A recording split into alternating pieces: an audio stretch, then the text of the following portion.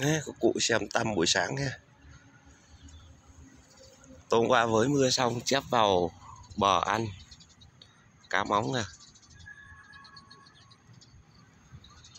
Thì này chắc cái về lại phải làm mồi đi thả ổ rồi. Đấy tiếp tục. Khủng khiếp không? Đây các cụ ơi Tăm này vào ổ sướng không? Đấy Tăm ấy à, ngoài cái nữa kìa, gần ổ cũ của em này đó. Sáng sớm như này ổ chép rất là lớn và rất là nhiều nha. Xa hơn bên kia cũng có, nhưng mà chắc xa quá, không không không nhìn rõ. Điểm nào chỗ bóng bóng đen dài, điểm này chỗ cá vừa móng lên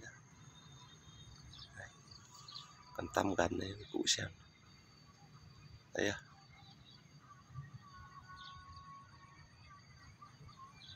ôi chép đây nhiều kinh đó. Đó mọi người xem.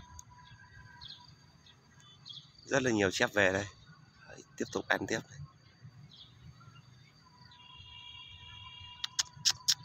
quá trời luôn. Đấy đấy đấy đấy.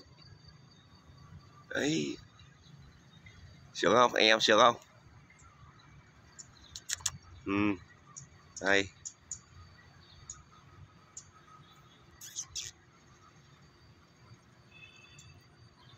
Đó, vào gần bờ nữa này. Đây. Zoom lại nhỏ nhỏ để xem này. ngồi đây làm sao mà không về đẹp cận ra được nhỉ? Quay ngang xem rộng đó. Như hồ này cá là bể nó cũng nhá cá rất là nhiều. Nhưng bể khó câu lắm.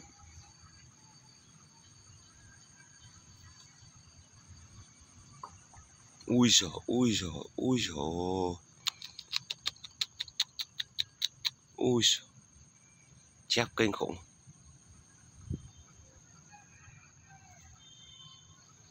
Về quá nhiều luôn.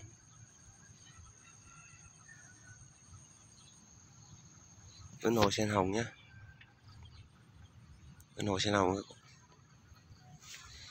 Ấy anh em sẽ thôi đi về báo cáo đi. Mấy anh em đang ngồi uống cà phê trên kìa. Em xuống thăm ổ xem tình nó thế nào. À, bên này, này. Bên này thì im lắm. Ổ chép bên kia. rồi